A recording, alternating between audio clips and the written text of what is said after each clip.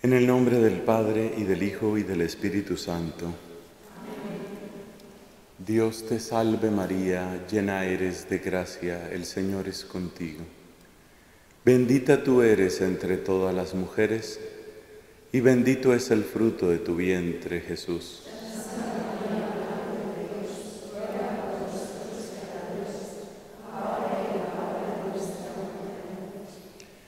el nombre del Padre y del Hijo y del Espíritu Santo. Amén. En nuestra predicación anterior hemos querido poner una base para el conjunto del retiro. Podríamos decir que es una base hermenéutica. Esa palabra quiere decir la manera como interpretamos o leemos lo demás que vamos a comentar. Y es una base hermenéutica porque en el retiro, en lo que sigue, vamos a hablar de la Pascua de Israel, luego vamos a hablar de la Pascua de Cristo, luego vamos a hablar de la vida pascual de algunos santos y después, ya al final, si Dios lo permite, vamos a referirnos a nuestro propio tiempo, queriendo hacer un ejercicio de lectura de los signos de los tiempos, para ver cómo nosotros podemos ser parte de esa Pascua que Dios quiere hacer también en nuestra época. En esa parte final del retiro tendremos que aludir a muchas señales de muerte, señales de oscuridad y de muerte que están en nuestra época y cómo ellas, integradas en la Pascua de Cristo, pueden ser la puerta de esperanza para una luz diferente y para una nueva vida. Así que esas son las partes del retiro con el favor de Dios. La introducción, que es una clave hermenéutica, una clave de interpretación, un ejercicio permanente que tendremos que hacer muchas veces, mirar el pasado no como un dato que se aleja, sino como un cimiento que permanece, no como algo que simplemente cuidamos, sino como una fuente vital a la que acudimos. Ese es el criterio. Después de esa introducción, la Pascua de Israel después la Pascua de Cristo, después la Pascua de algunos cristianos y después nuestro tiempo. Puede decirse que esas son las cinco partes de este retiro. Como ya tuvimos la introducción, entonces vamos con la Pascua de Israel. Indudablemente se trata de la celebración más importante del Antiguo Testamento. La liberación de Egipto es el paradigma de las obras de Dios para el pueblo elegido. Es decir, se convierte en el criterio que responde incluso a la pregunta ¿quién es Dios? A la pregunta ¿quién es Dios? El pueblo elegido responde no con una elaboración filosófica, no con una descripción por ejemplo, de la obra de un artista. ¿Quién es Dios? Se responde contando qué ha hecho Dios. Y la gran gesta que describe el obrar divino es precisamente la Pascua. O sea que al hablar de la Pascua de Israel, estamos tocando las entrañas mismas de la fe judía. Por eso conviene tener una buena comprensión de qué es exactamente lo que ha sucedido ahí. ¿De qué se trata? O como decís en España, ¿de qué va? ¿Qué es lo que se quiere decir con el relato de la Pascua? Bueno, necesitamos una ubicación cronológica, necesitamos un poquito de contexto para entender qué es lo que está sucediendo y poder responder a esa pregunta. ¿qué es lo que ha sucedido finalmente en esa Pascua? ¿Cuál es ese contexto? Bueno, sabemos que Abraham está situado hacia el siglo XVIII antes de Cristo. La llegada de los descendientes de Abraham, es decir, los que llamamos los hijos de Jacob, la llegada de los hijos de Jacob a Egipto, hay que situarla hacia el año 1700 antes de Cristo, por supuesto. La salida de los israelitas de Egipto, es decir, el tema central de esta predicación y alguna otra que hagamos, acontece hacia el año 1300 antes de Cristo. O sea que la estancia de los israelitas en Egipto cubre unos 400 años más o menos del 1700 al 1300 antes de Cristo. ¿Qué está sucediendo en esos 400 años? ¿Por qué ese salir de Egipto va a convertirse en la gran referencia para la fe judía? Bueno, pues vamos a verlo. Según el relato del final del libro del Génesis, los israelitas llegan a Egipto en medio de una gran necesidad, pero también con una gran riqueza, con un gran don. La gran necesidad es física, material. Se están muriendo de hambre. La riqueza, en cambio, es más espiritual. Es el talento, es la sabiduría de un hombre llamado José, hijo de Jacob. Israel llega a Egipto entonces con gran necesidad material y con gran riqueza espiritual. Los hermanos de José le siguen, movidos por la necesidad, y el pueblo elegido, los descendientes de Abraham, se establecen en Egipto. Se podría esperar, sería natural que se hubieran mezclado con los egipcios, pero eso no fue lo que sucedió. Resulta que, aunque estaban en la tierra de Egipto, los israelitas vivían juntos, por decirlo así, tenían su propio vecindario, sus propios lugares de vivienda, y además se emparentaban únicamente entre ellos. Esto viene a suscitar una progresiva desconfianza entre los egipcios. Y así llegamos a los acontecimientos que cuenta el libro del Éxodo. El libro del Éxodo nos habla de un faraón al que no le importa ese pasado del pueblo de Israel. No siente gratitud, sino más bien ve en los israelitas una amenaza. El argumento que él se da es, han crecido mucho, son 400 años, han crecido mucho, y si llega a atacarnos un enemigo, los israelitas, que forman como un bloque compacto, se unirán al enemigo y nos van a destruir. Así que estamos en peligro. Por ese miedo, Faraón, el nombre del rey de Egipto, el nombre del cargo que tiene, decide forzar una mezcla de razas. Y el recurso que tiene a mano es eliminar a los niños varones que vayan naciendo, que queden solo las chicas, que queden solo las niñas. Se trata de un recurso pues extremo y brutal, pero para él es el más útil a sus propósitos. Vamos a eliminar los varones, de modo que queden solo las mujeres.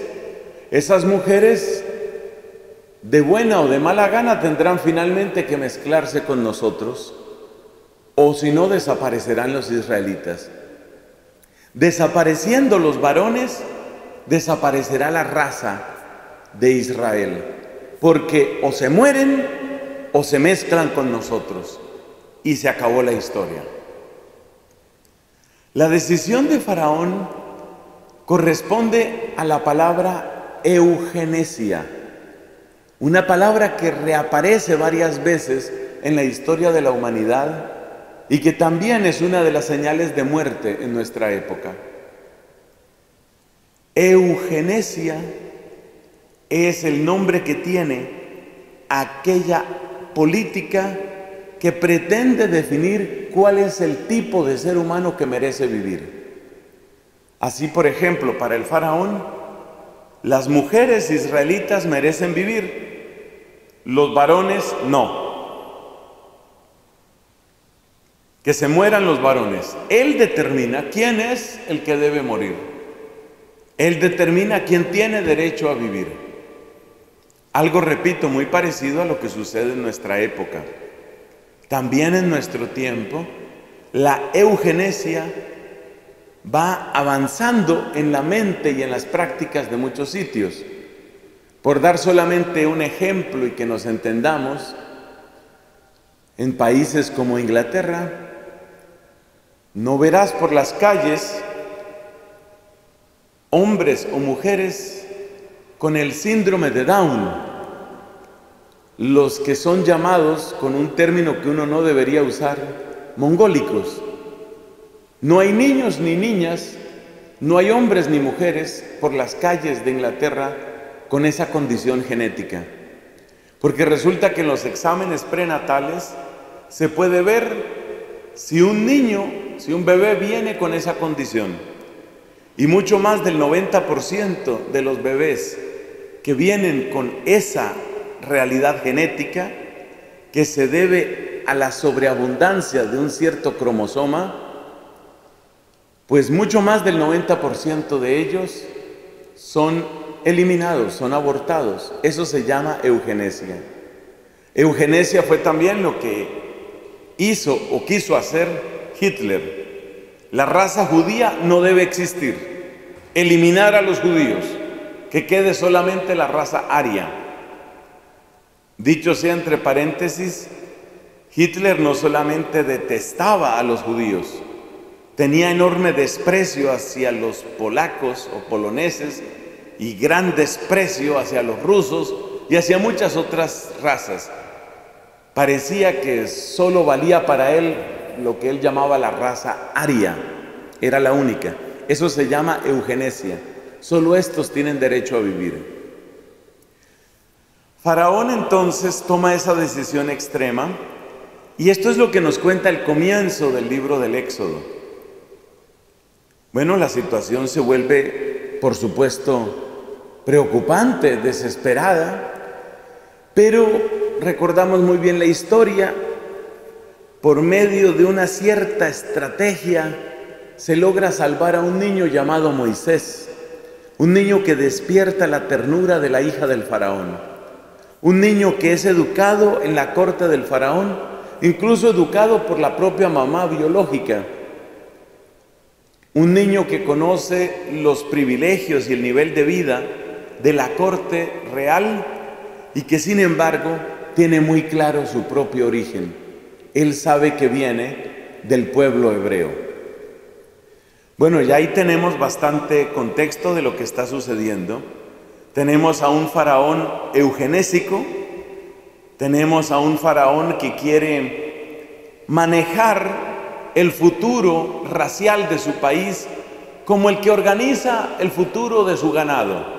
Quiero más de estos y no quiero tantos de estos. Así que, pues vamos a hacer esto o esto otro para eliminar a tal raza o para hacer crecer a alguna otra. La actitud del faraón hay que destacarla, es decir, hay que destacar el hecho de esta eugenesia porque es propio de quien se siente dueño de la vida humana. Y Faraón realmente se considera dueño de esas vidas. Puede disponer de ellas, repito, como el que determina qué variedad de trigo hay que sembrar o como el que determina qué tipo de raza de ganado hay que hacer prosperar. Esa es la manera como Faraón mira a los hebreos. Es importante darse cuenta de que la actitud de Faraón es una actitud que tiene que ver con el ser dueño de la vida y por lo tanto con asumir el lugar de Dios. Es decir, Faraón toma el lugar de Dios, o el lugar de los dioses, habría que decir, dentro de la mentalidad egipcia que es politeísta. Faraón toma el lugar de Dios. Mientras tanto, ¿qué está sucediendo con los hebreos? Pues los hebreos, a ver, ¿qué tenían los hebreos en esa época? desde el punto de vista religioso, ¿qué tenían? Si te pones a mirarlo bien, prácticamente nada. Imagínate, después de 400 años, ¿qué quedaba de las promesas que Dios había hecho a Abraham? ¿Qué quedaba del juramento que Dios hizo con Abraham y su descendencia? Quedaba muy poco. Seguramente quedaba la práctica de la circuncisión, que era señal de pertenencia al pueblo, y seguramente quedaba el recuerdo de que Dios nos va a dar la tierra de Canaán. No debía haber mucho más. Es decir, el recuerdo del Dios que hizo alianza con Abraham se va disolviendo en el pasado, ve relacionando con la charla anterior. Para los israelitas, esas historias cada vez menos repetidas, cada vez más olvidadas, se están alejando de ellos. 400 años es mucho tiempo. Si uno se devuelve 400 años en la historia, pues encontramos todavía a Miguel de Cervantes Saavedra eso da una idea de proporción. Tú imagínate la época de, del Quijote, la época de Miguel de Cervantes, solo que sin la escritura y sin la imprenta. Imagínate historias de esa época repetidas de padres a hijos. ¿Qué queda de esas historias después de 400 años en que los hebreos ya están completamente metidos en el modo de vida de los egipcios? realmente lo que queda es muy poco. Realmente el Dios que habló a Abraham es una especie de punto remoto en las brumas del pasado. Les ha sucedido a ellos con su memoria lo que temíamos que podía suceder en la descripción de nuestra charla anterior. El pasado se volvió lo antiguo el pasado se volvió algo distante. El pasado se volvió algo que ya no habla, algo que no dice nada. En esas condiciones, Dios le habla a Abraham y le pone un encargo. Vas a hablar con el faraón.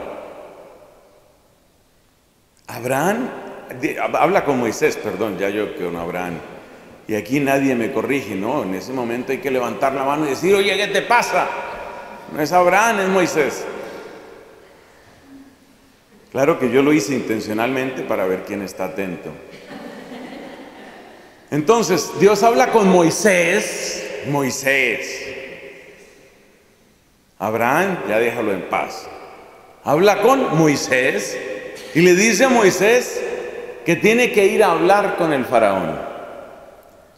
Moisés conoce con qué tipo de bestia va a, tener que enfrentarse y no le llama mucho la atención esa idea de hablar con el faraón. No le atrae mucho el asunto. Y entonces, ¿qué sucede? Para entenderlo, hay que recordar qué es exactamente lo que Dios le dice a Moisés.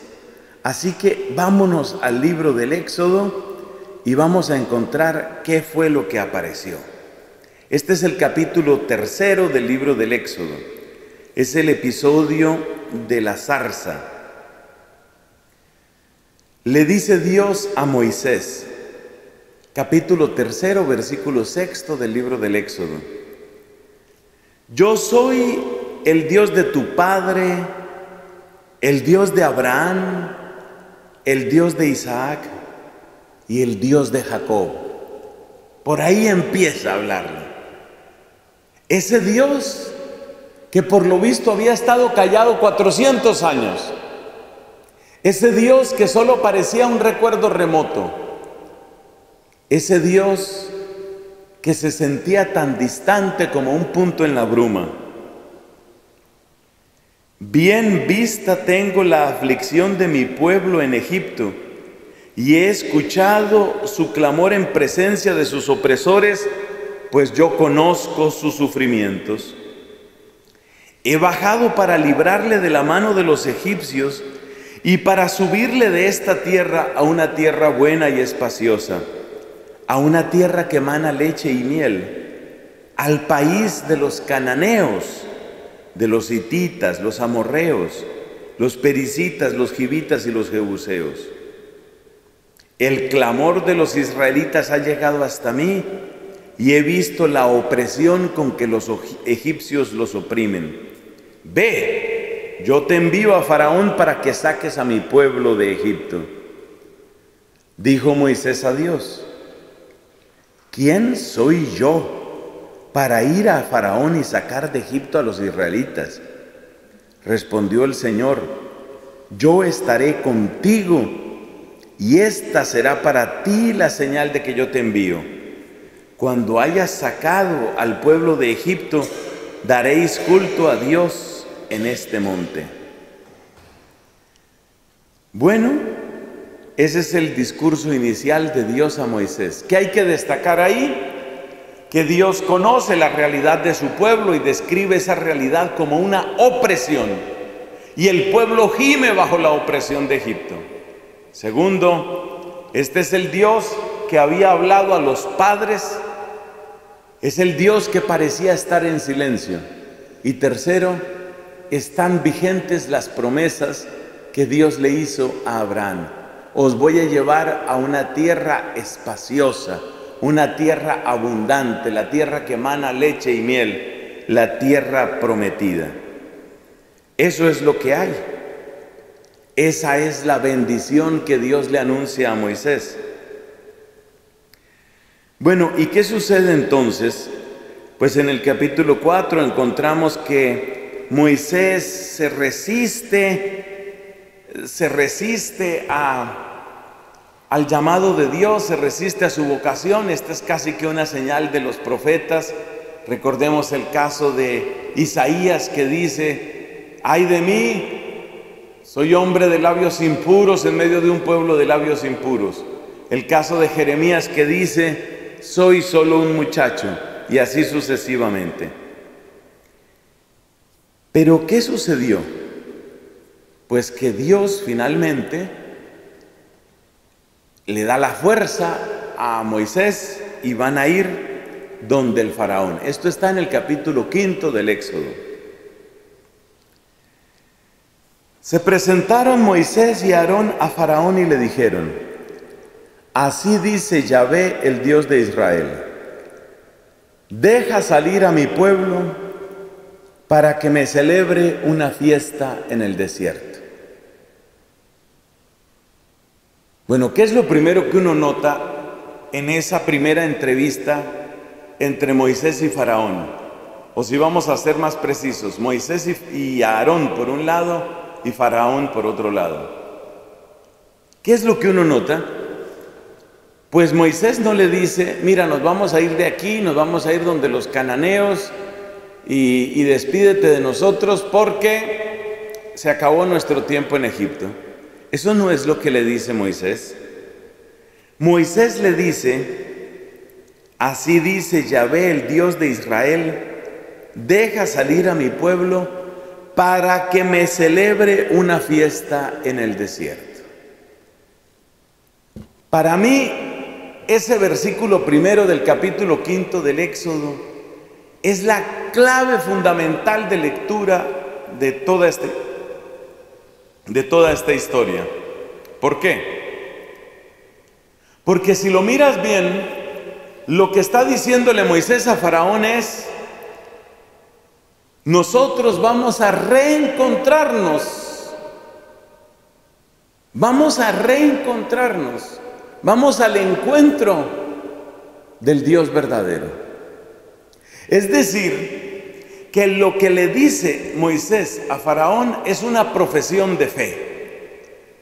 Vamos a celebrar a Dios. Eso es lo que le dice. Pero aquí es donde se complican las cosas para Faraón.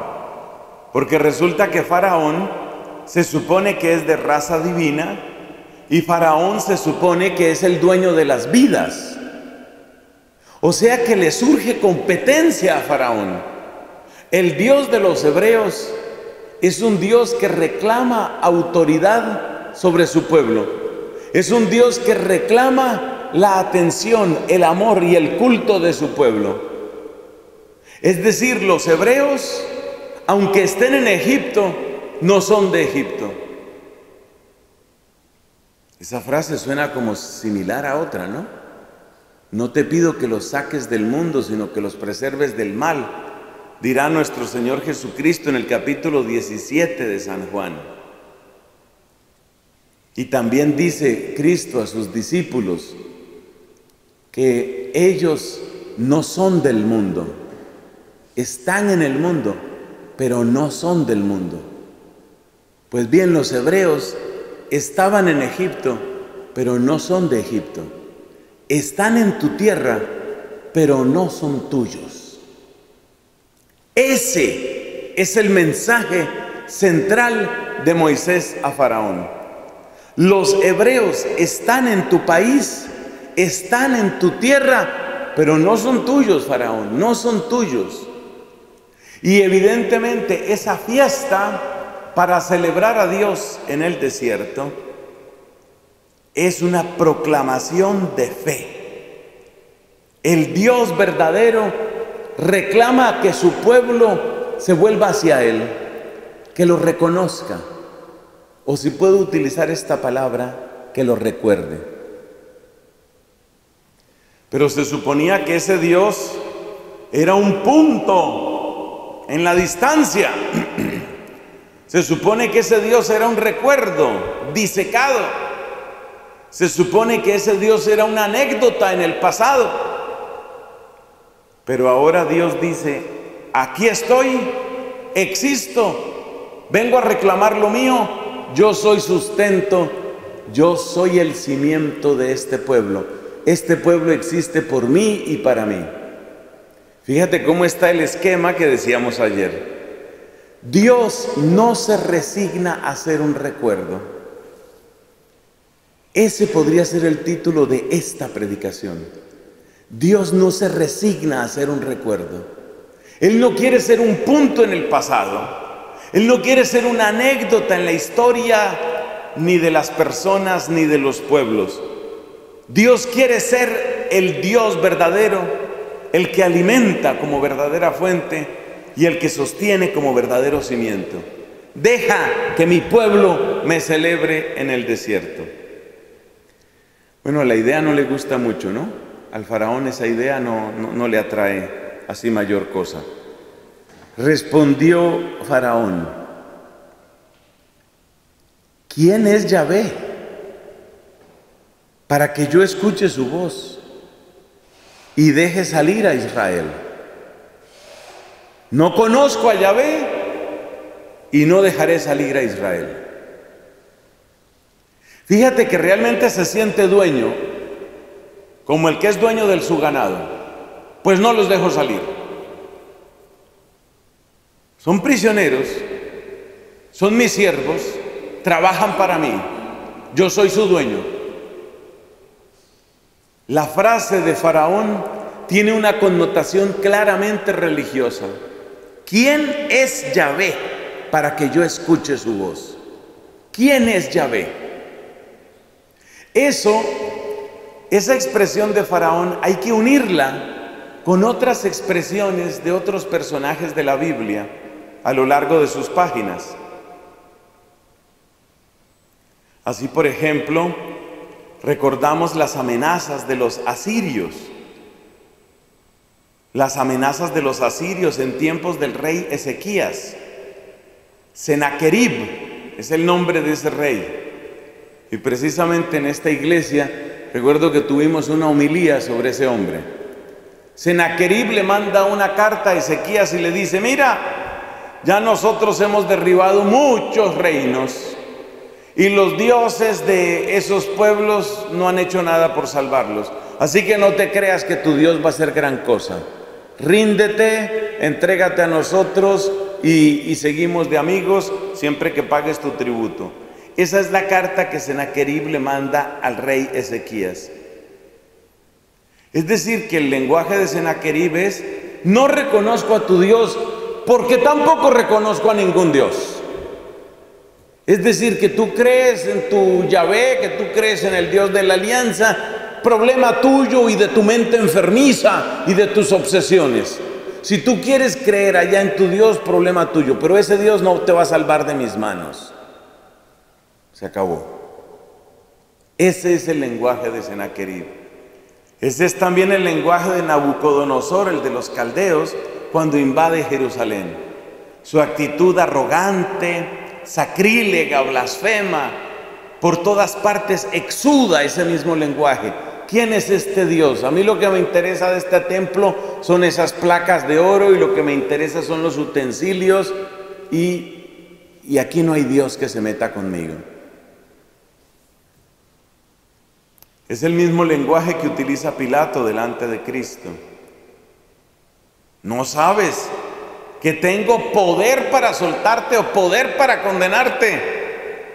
Es decir, aquí el que tiene la capacidad de decisión y el que puede llevarte al tormento más horroroso o puede llevarte a la salvación soy yo. Ese es el lenguaje de Pilato. O sea que el lenguaje de Faraón, lo mismo que otros tantos reyesuelos y tiranos, se va repitiendo a lo largo de los siglos. Es bueno mientras yo digo estas cosas es bueno que vayáis haciendo el ejercicio de relacionar con cosas que pasan en nuestro tiempo. ¿Cuál es el Senaquerib de nuestra época? ¿Cuál es el Herodes de nuestra época? ¿Cuál es el Pilato de nuestra época? Cuando iba tomando mayor impulso, mayor y mayor impulso, el tema de la vinculación política de los países de la Unión Europea, entonces se habló durante un par de años, se habló mucho de una constitución para Europa. Y lo primero en lo que estuvieron de acuerdo todos fue que salga el nombre de Dios. Aquí no tiene que aparecer Dios por ninguna parte, ni el pasado cristiano. Eso, eso no importa, eso desaparece. Es la actitud que toma aquí el faraón. Bueno, ¿y quién es Yahvé? ¿Y quién es Yahvé para que yo escuche su voz? ¿Quién es? No conozco a Yahvé y no dejaré salir a Israel. Moisés y Aarón no se rinden frente a esa blasfemia. El Dios de los hebreos se nos ha aparecido. Permite pues que vayamos camino de tres días al desierto para ofrecer sacrificios a Yahvé, nuestro Dios, no sea que nos castigue con peste o espada. Hay varias cosas nuevas que aparecen en esta intervención de Moisés. Primero, el Dios de los hebreos se nos ha aparecido. ¿Ves? No es un recuerdo, no. No es un punto lejano en la bruma. Existe, está vivo, habla y tiene poder. No es un recuerdo, existe, está vivo, habla y tiene poder. Puede castigar con la peste o con la espada. Es rey. Por supuesto, de espadas sabía mucho el faraón. De eso sabía mucho. De pestes no tanto, pero de espadas sí sabía. Pero al referirse Moisés a la peste le está diciendo, tiene un poder por encima de tu propio poder. Porque a una espada se responde con otra espada, pero una enfermedad que tú ni siquiera entiendes, ¿cómo vas a responder? Este será el principio de lo que luego vamos a ver en el libro del Éxodo sobre las plagas de Egipto. Otra cosa que me gusta destacar es que lo que está hablando Moisés es unos retiros espirituales, ¿no? Le dice, tenemos que irnos y pone esa cifra, ¿no? Tres días, tres días por el desierto. Tres días por el desierto para celebrar esa fiesta. Moisés no habla ahí de que van a seguir para Canaán. O sea que queda sobreentendido que se supone que regresarían. Entonces yo hago así mi matemática sencilla, yo digo tres días yendo, un día de fiesta, tres días volviendo, es una semana de retiro. O sea que Moisés está diciendo, me voy a llevar al pueblo una semana de retiro. Y Faraón dice, pues ni una semana ni medio día, no va a haber retiro espiritual para tu pueblo ese, no va a haber retiro para ellos. La actitud de Faraón me parece interesantísima. El rey de Egipto les replicó, oiga esta respuesta y por favor agudizar los sentidos para ver lo que va aquí por debajo. ¿Por qué vosotros, Moisés y Aarón, apartáis al pueblo de sus trabajos? Ahí se muestra quién, es Israel, o mejor, qué es Israel para el faraón. ¿Por qué apartáis al pueblo de sus trabajos? O sea, la idea que tiene Faraón es claramente la idea de máquinas, robots. ¿Por qué apartáis al pueblo de sus trabajos? Como quien dice, dejad la vida en paz, que sigan trabajando, que sigan rotando los engranajes de mi máquina, que siga funcionando la máquina. ¿Qué importa el tal Dios ese? ¿Qué importa Yahvé? Lo que importa es que siga la máquina, que siga que ruede y que produzca. Eso es lo único que interesa. Nuevamente, vamos haciendo los ejercicios nuestros. Hay que ir relacionando este tipo de cosas con lo que viene después, con lo que aparece en otros lugares de la Biblia. Por ejemplo, en la parábola del sembrador que nos dice Cristo, una parte de la semilla fue comida por pájaros, otra parte cayó en terreno sin mayor profundidad, otra parte cayó entre zarzas y pudo nacer, pero las zarzas ahogaron la semilla. Las zarzas ahogaron la semilla, nos dice Jesús.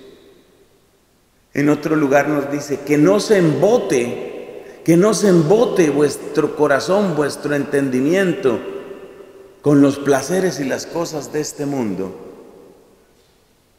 Es decir, que parece que esa actitud de Faraón o esa realidad en la que cree Faraón se ha dado en muchas otras ocasiones, mantener a la gente ocupada, exhausta, tensa, obsesionada, que no tengan tiempo de recordar quiénes son, que no tengan tiempo de añorar a Dios, que no tengan tiempo de darse cuenta que les hace falta, que no tengan tiempo para invocarme, que no tengan tiempo para recuperar su verdadero ser. Esa es la actitud de Faraón. Cuando uno mira la manera como mucha gente vive hoy, pues uno se encuentra con que la vida de muchísima gente está metida en los engranajes que yo puedo llamar los engranajes del faraón. Esos engranajes, esa rueda que no para nunca, es el producir, consumir y entretenerse. Y se le va la vida a la gente en eso. Los mensajes de la publicidad, la industria eficacísima del marketing, tiene siempre otra zanahoria para presentarnos delante, para que corramos detrás de ella. Hay quien dice que así se puede manejar a un caballo. Yo no sé si eso será cierto. Se le pone delante una zanahoria y ahí va el caballo. Detrás de la zanahoria sin darse cuenta que siempre le empujan la zanahoria más adelante. Y así va la gente, así va la gente. Siempre insatisfechos. Toca trabajar otro poco para mejorar el coche, toca trabajar otro poco para las próximas vacaciones, toca trabajar otro poco y entre el trabajar, entre el producir, el consumir y el entretenerse se les va la vida. No paran, no paran. Porque entretener tampoco es parar. Eso tampoco es detenerse.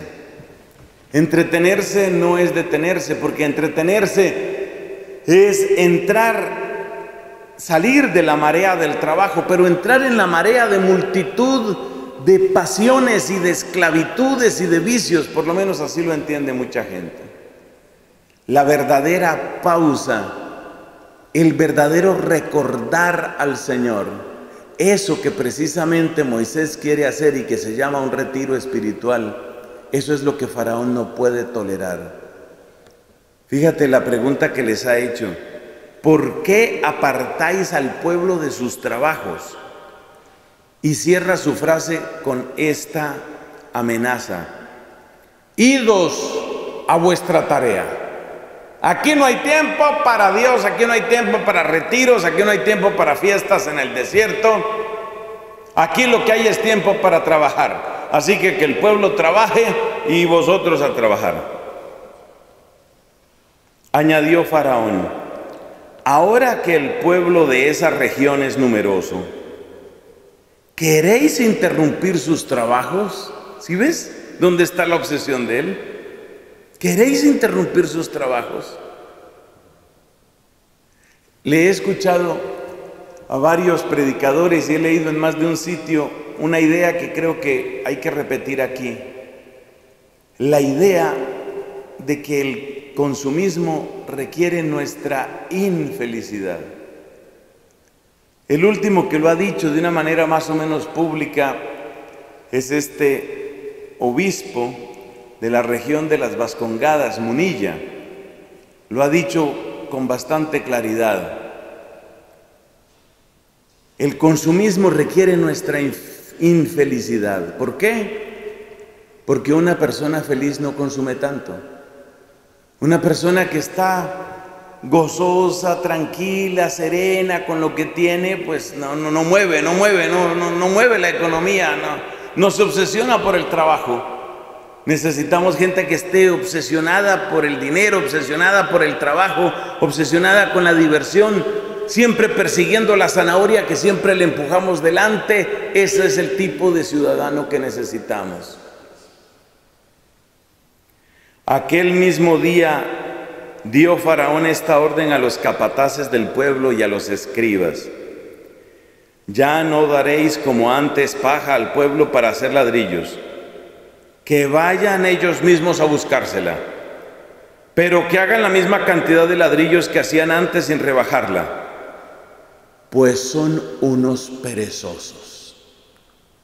Si ves, lo que no sea producir es pereza.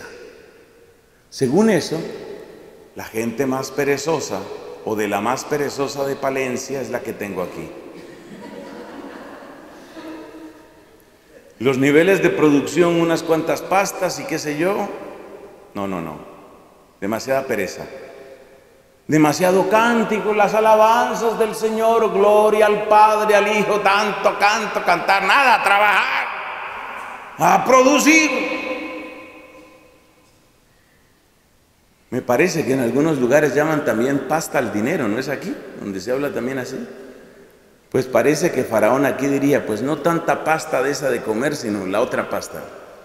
Hay que hacer es dinero, hay que producir dinero. Son unos perezosos. El que no produce dinero, el que no se pliega a los intereses del poder único, el que no se agacha delante del faraón es un perezoso.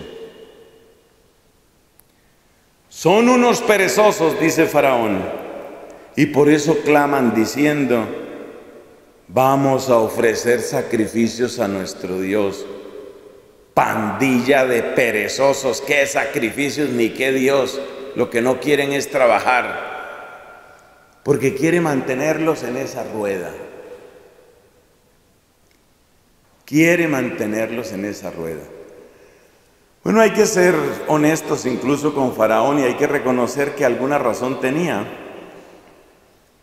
Alguna razón tenía porque porque resulta que los antiguos monjes describían la vida contemplativa utilizando la misma raíz que se utiliza para las vacaciones.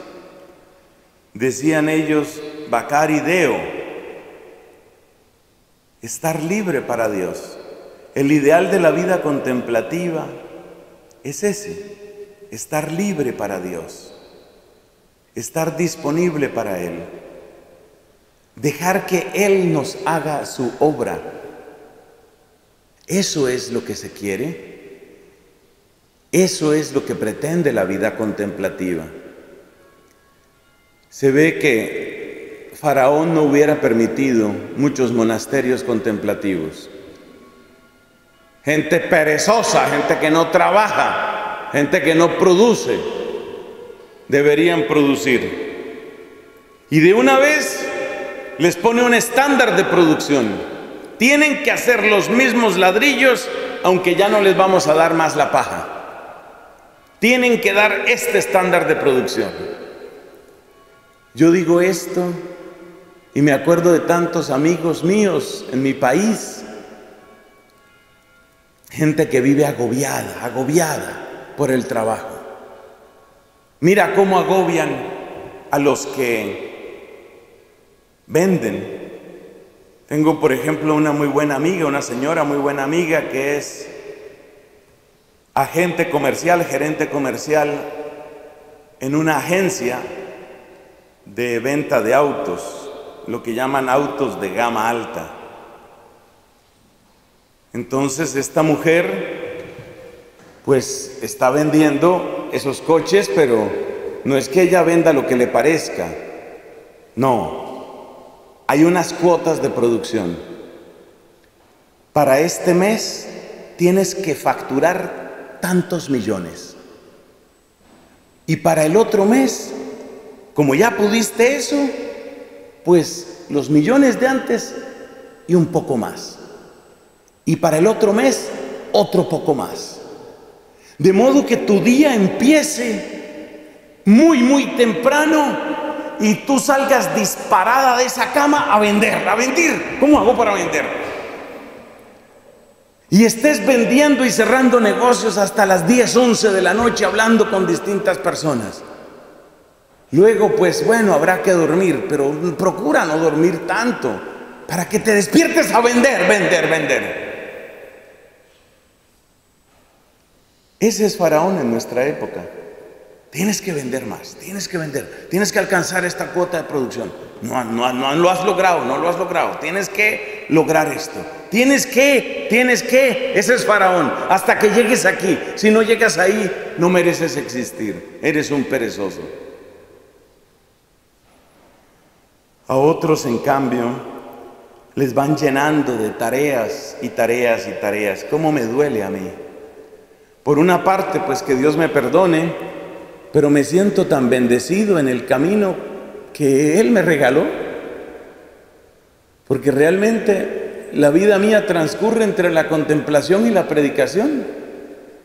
De verdad que yo me siento un amado, un mimado de Dios, porque yo lo que hago es eso, contemplar y llevar a los demás lo contemplado, eso es lo que yo hago. Pero, pero en mi contemplación, ¿cuánta gente agobiada veo? Me da tanto dolor ver los hogares. Trabaja el papá, trabaja la mamá, muchas, muchas horas. Hay que cerrar negocios, hay que lograr comisiones. Casi voy a alcanzar el bono. Ya parece que sí. A ver, esto más las horas extras, bueno, ahí completo algo. Bueno, pero no me va a alcanzar, no me va a alcanzar todavía para pagar el piso. Entonces, ¿qué hay que hacer? Pues mira, si, si me ofrezco para algunos viajes con lo de viáticos y esto, pues ahí sí se completa. Bueno, pues entonces, pues entonces a por ello. Y a por ello es que la gente vive reventada, tensa, Esos papás no ven a sus hijos, no tienen tiempo, no tienen tiempo para estar con ellos, para jugar con ellos, para conocerlos a fondo. Y viene entonces esta famosa idea del tiempo de calidad. Lo importante es que si vas a tener 12 minutos al día con tu hija, pues que esos 12 minutos sean de máxima calidad. Entonces la gerentísima llega pasadas las 8 de la tarde, la hija ya le queda poco tiempo para estar despierta, no, no, no puede acostarse demasiado tarde. Entonces llega la mamá agotada, agotada, pero ya parece que voy logrando la factura. Ya parece, parece que sí voy a poder vender. Parece que Faraón estará contento conmigo este mes. Creo que tendré contento a Faraón. Y llega a ver a su hijita 20 minutos, media hora, bueno, ¿y qué? ¿Cómo has estado? Bien, bien, mamá. Ah, bueno, conversaciones superfluas, conversaciones vacías. Claro, hay mucho amor, yo no le quito amor a esa mamá, mi crítica no es contra la mamá, mi crítica es contra ese sistema de vida, ese sistema de vida que es la repetición de Faraón, es el no tener tiempo, no tener tiempo nunca, porque todo hay que hacerlo porque no se alcanza. Las deudas, los niveles de brutal endeudamiento de la gente, por ejemplo, en razón de estudios, especialmente en algunos países, es una cosa demencial. El peor estado de los Estados Unidos en este sentido parece que es New Jersey. Hay unas historias tan faraónicas sobre New Jersey. Endeudan a la gente para que pueda estudiar en la universidad.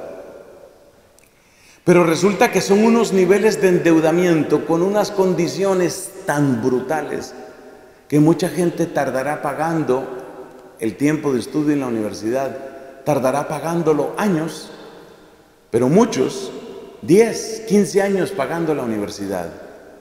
Entonces la gente vive esclava de un crédito. Inglaterra es lo mismo, de España yo no conozco tanto. Yo no puedo hablar de España porque no conozco. Pero Inglaterra es así también. Te metes en una deuda, son 15 años, son no sé cuántos años pagando, pagando, pagando tu universidad. Pero mientras tanto, pues necesitas un lugar donde vivir. Por eso cada vez más gente en este hermoso continente europeo ya no se van de los papás. Claro, el país donde esto ya es una tradición y ya es prácticamente un chiste es Italia, ¿no? En Italia, algo así como una tercera parte de los hijos adultos entre 30 y 40 años siguen viviendo con los papás. Esa es la última estadística que conozco. Oye, los papás todavía sosteniendo a los hijos a los 30, a los 40 años de edad. ¿Y por qué siguen los hijos viviendo con los papás? Porque resulta que meterse en otro crédito es una cosa que no se puede. Y si a eso le sumas los temas de paro, es decir, de falta de empleo, como decimos en otros países, si le sumas el paro, entonces dime qué vida lleva la gente. En el estado de New Jersey, es que esto me parece tan faraónico que lo tengo que decir o me exploto. En el estado de New Jersey, en primer lugar te ponen esas deudas, deudas brutales, así a 12, a 15 años, con no sé cuántos intereses. Y resulta el caso de que una muchacha pues se metió en una deuda de esas y se murió. Murió. Pues la deuda no muere, la deuda le pasa al papá. Entonces el papá tiene que seguir pagando otros 8 o 10 años la deuda de la hija muerta. Porque es que además si no tiene un fiador en esas condiciones no le dan el préstamo. Y parte del fiador no es como sería lo natural, que si se muere, oye, se supone que se metió en ese crédito para estudiar y ya no está estudiando. Le queda difícil estudiar, entre otras cosas, porque se murió. Que ya no está estudiando, que se murió. Bueno, pues muerta y todo, hay un contrato. Por consiguiente, usted tiene que seguir pagando por el estudio que no tendrá su hija. Eso sí, adquiere el derecho de que cada cuota que pague la puede ir metiendo en la tumba. Ese es el faraón, que trabajes y que trabajes y que te revientes. Lo que sí sé yo es que el tema de la vivienda está en unas condiciones absurdas, creo que en el mundo entero. Incluyendo mi propio país, se supone que nosotros somos país en vía de desarrollo o tercer mundo, yo no sé en qué mundo nos tendrán ahora, pero en esto de las deudas sí que estamos igualitos, igualitos. En lo que se trata de corrupción de menores y lo que se trata de deudas, Colombia está a la par con los peores, igualito. Entonces te metes en una deuda 30, 40 años pagando, pagando, pagando. Es eso. El crédito, el crédito es la última de las armas del faraón. El crédito. Que tengas que pagar años y años y años. Que nunca seas dueño. Que siempre estés corriendo, que nunca te alcance. Ese es el faraón. Ese es el faraón. Por otra parte, el faraón sabía cuidar su ganado. El faraón sabía tenerlos contentos. No nos detengamos en eso, sino simplemente recordemos que los israelitas cuando iban por el desierto, pues con nostalgia, ¿no? Con nostalgia traían a la memoria las cebollas de Egipto y las ollas de carne y los puerros yo no, todavía no tengo claro, a mi edad no tengo claro qué es un puerro, pero en todo caso, los israelitas echaban, aquí hay gente que tampoco sabe lo que son los puerros. En todo caso, entre los puerros y las cebollas y entre la olla de carne, el faraón sabía cómo tener contenta a su gente. Bueno, vamos llegando al final de esta enseñanza para concretar sobre todo algo. Entonces, ¿cuál es la opresión? ¿Cuál es la opresión? Es que la cosa no es tan sencilla. Como comentábamos en nuestro curso con las amigas formandas, este tema lo desfiguró bastante la teología de la liberación. Porque en la teología de la liberación se miraba a la opresión como un tema solamente económico. Es decir, más o menos como lo que sucedía en la Inglaterra del siglo XIX con la revolución industrial, que las familias enteras, incluyendo menores de edad, tenían que trabajar 10, 12, 15 horas al día. Y mucha gente traslada las imágenes de esa opresión económica al libro del Éxodo. La obra más famosa del ahora dominico Gustavo Gutiérrez, obra que se llama Teología de la Liberación, publicada hacia 1972 o 73, una cosa así creo yo, a comienzos de los 70 en todo caso, habla de ese paralelo y quiere presentar los hechos de Egipto como si fuera fundamentalmente un problema económico. Yo también he hecho referencia a la economía, al crédito y a las cuotas que toca cumplir en la venta de autos y cosas de esas. Yo también he hablado de eso, pero ese no era el principal problema. ¿Cuál es? Hay que entender bien cuál es el centro del problema. ¿Cuál es el centro de esta opresión de la que aquí se nos habla? Eso hay que entenderlo muy bien. No es solamente un tema económico. El problema no es que se estuvieran muriendo de hambre. Si el problema hubiera sido el hambre, ellos no tendrían luego nostalgia de los puerros. Yo creo que yo saldré de aquí a buscar en un diccionario bien que me aclare qué es, eh, qué es una foto de un puerro. Como yo también quiero ver en algún momento un gluten. Tengo que saber cómo es un gluten o cómo es el gluten. Creo que es como una sustancia, alguna cosa así. Hay, que ver bien qué es eso porque son palabras que se oyen mucho hoy y uno no sabe bien qué son. Pues bien, no es solamente un tema económico. Es verdad que Faraón insiste en el tema del trabajo, pero hay más. Faraón se cree Dios. Y Faraón no quiere competencia con ningún Dios. Faraón no quiere que se oiga ninguna otra voz. Faraón quiere desde el principio amordazar a Moisés y a Aarón. Idos a vuestra tarea, a vuestra tarea, ya métete allá, vuelve a la mina y cállate. Faraón, Faraón no tiene un interés solamente económico. El tema central del éxodo no es la economía, es la religión. El tema central del éxodo es quién es Dios. Y lo que quiere Faraón es no tener competencia. Él quiere ser tenido, escuchado, obedecido como Dios. Y entonces, ¿cuál es el clamor? ¿Cuál es el clamor que ha oído Dios? ¿Ese clamor en qué consiste? Posiblemente tiene que ver con el trabajo, tiene que ver con esa rueda del trabajo que llega a ser pesada para los israelitas. Pero el clamor es mucho más profundo.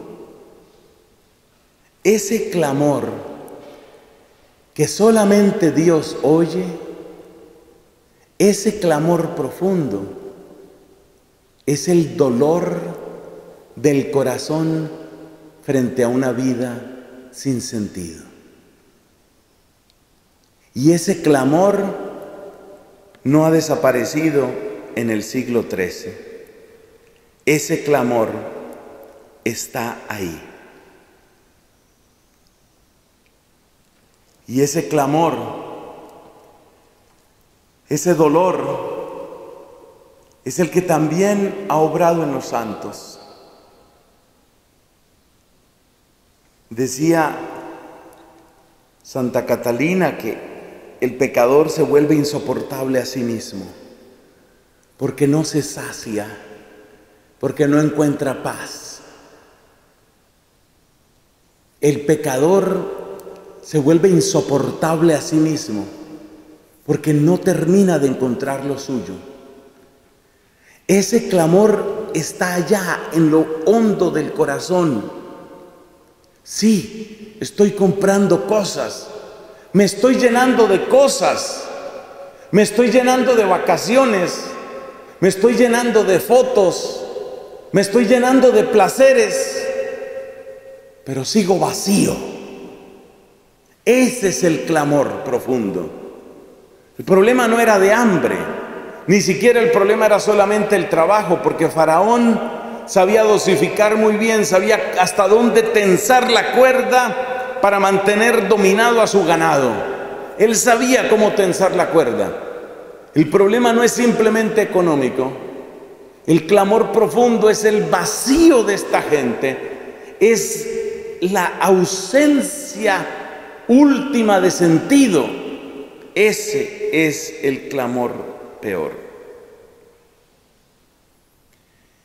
Tenemos que pedir al Señor, tenemos que pedir al Señor que nosotros seamos capaces de oír ese clamor. Nosotros tenemos que oír en lo profundo de nuestro ser esa insatisfacción. Lo que Faraón no quiere que el pueblo sienta es que le hace falta. Por eso una sociedad repleta de trabajo y de consumismo y de ruido. Es una sociedad que quiere sepultar esa ansia, esa necesidad, ese absurdo. Porque cuando la gente descubre ese absurdo, o se vuelve a Dios o se siente tentada de matarse. Alguien escribía hace poco en este periódico de este país, en ABC, decía que la gran epidemia de la que nadie quiere hablar se llama el suicidio. Y daban cifras sobre cómo han ido aumentando las muertes voluntarias, las muertes por propia mano. Porque la gente, porque la gente finalmente no encuentra sentido. Después de que ya han probado tener, por ejemplo, muchas mujeres y después, bueno, ¿será que soy bisexual? ¿O será que entonces, o será que entonces me drogo? ¿O será que entonces me emborracho? ¿O será que entonces me voy a buscar un placer exótico? Y ya después de que sienten que lo han probado todo, ya cuando sienten asco de todo, ya cuando sienten que la vida les repugna, entonces acaban con esa vida. La opresión del faraón no es solamente económica y el clamor de los hebreos no es simplemente por más dinero o por más comida. La opresión del faraón en el fondo es un tema de religión. ¿Quién es el verdadero Dios? Y el clamor profundo es el clamor por el sentido. Yo estoy convencido que desde siempre, pero todavía más en las vocaciones más recientes, para esta vida, ese clamor está presente. Yo miro un poco así mi gente más joven de por acá y yo digo, ¿por qué están? ¿Por qué están aquí? Perezosos. No quieren trabajar. ¿Por qué están aquí? La respuesta de Faraón es por perezosos.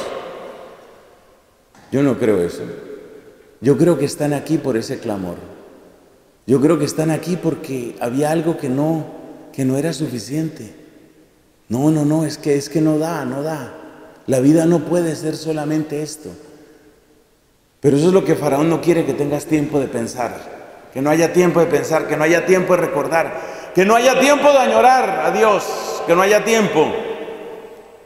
Succionar hasta el último instante de tu tiempo confinar todo tu tiempo a uno de esos tres compartimentos, trabajar, producir, consumir, entretenerse, meterte en esos tres, en esos tres espacios y que ahí se te vaya la vida entera.